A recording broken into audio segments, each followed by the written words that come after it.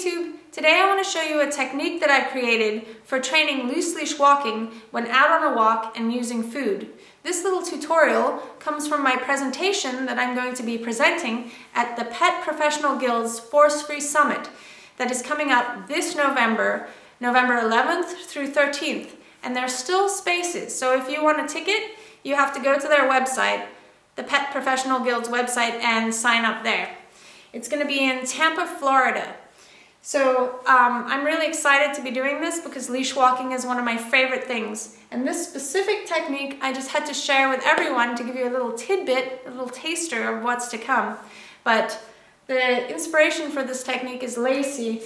You know, we tried everything to train Lacey to walk on a loose leash, but every time you give her a treat on a walk, she's walking nicely, you give her a treat, suddenly after eating the treat, she'd run and hit the end of the leash, which is very frustrating because she was doing so well until you give her the treat. And that happens with a lot of clients' dogs. So I came up with this way of stopping that from happening. And basically, what we're teaching the dog is after eating the treat, the dog has to then wait for permission to move forwards. So I will show you how to do that right now. You want to train this exercise in a non-distracting environment at first. So after a couple training sessions where you've really built the behavior, then you can attempt to try it on a walk when your dog's been highly reinforced for doing it.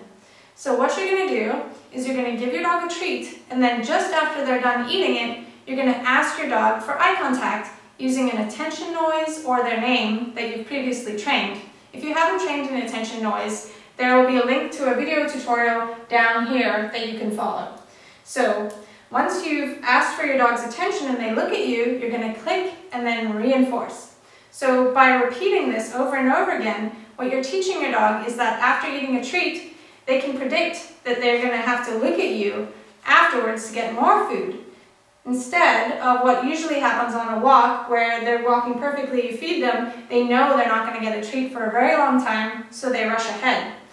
The end result is that you're going to feed your dog a treat, they're going to look at you expectantly, and the reward is going to be access to the environment.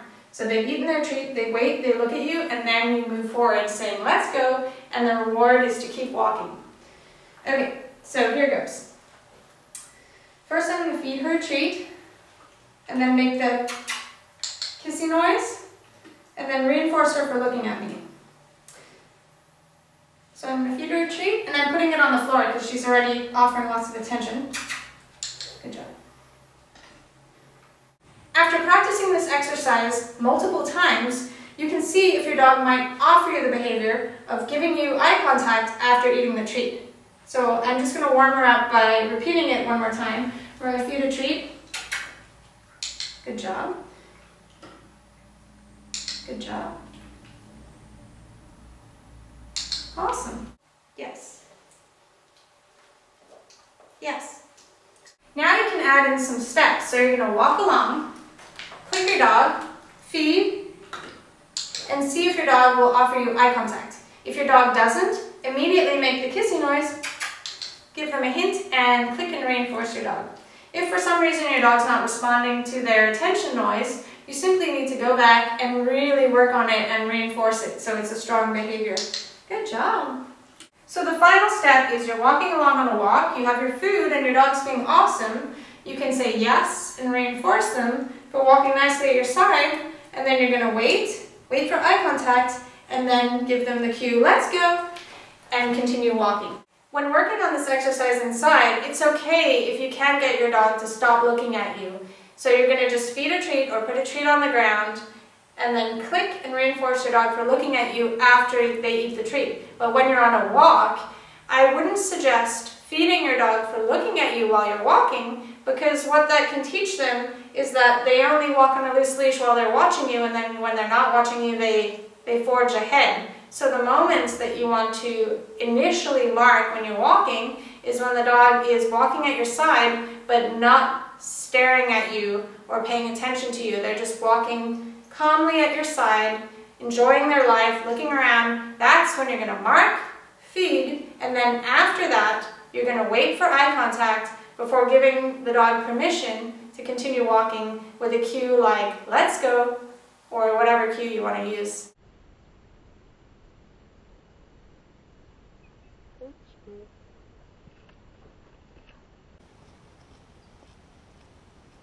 I hope you enjoyed this tutorial and I look forward to seeing everyone at the PPG Summit in Florida.